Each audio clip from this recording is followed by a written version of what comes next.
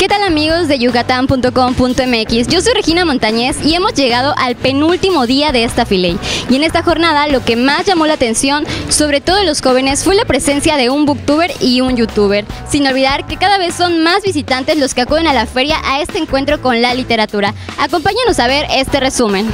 Gran euforia causó entre los asistentes a la Filey la presencia de Chumel Torres, conocido youtuber que al mediodía presentó su libro La historia de la República. Muchos de sus seguidores tuvieron incluso que hacer filas, tanto para entrar a la presentación como para tomarse una foto con él y conseguir un autógrafo. Pero quien desató la emoción entre decenas de adolescentes fue sin duda alguna el booktuber Alberto Villarreal, cuando presentó su libro Ocho lugares que me recuerdan a ti. Cuando subió el libro fue como que, ah, qué padre, ¿no? Es como los típicos youtubers del libro de la persona, ¿no? Es como que un libro así, me gustó. Pues llegamos a las 11 de la mañana y estuvimos en la fila y estuvimos en la primera fila y pues fue muy emocionante que él me respondiera a una pregunta.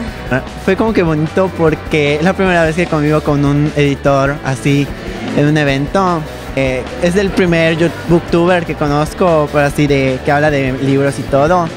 Y pues fue lindo como saber que no todos los youtubers hablan de como de su vida, de cómo hacer cosas y todo, sino de libros.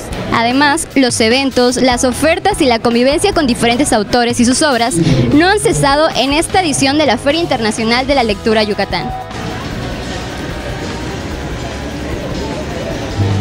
Recuerden que aún queda un día para visitar la Filey y si vienen, no se olviden de pasar por el stand de Grupo Mega Media, donde el día de hoy los más chiquitines de la casa podrán convivir con sus superhéroes favoritos y además podrán adquirir productos Liber.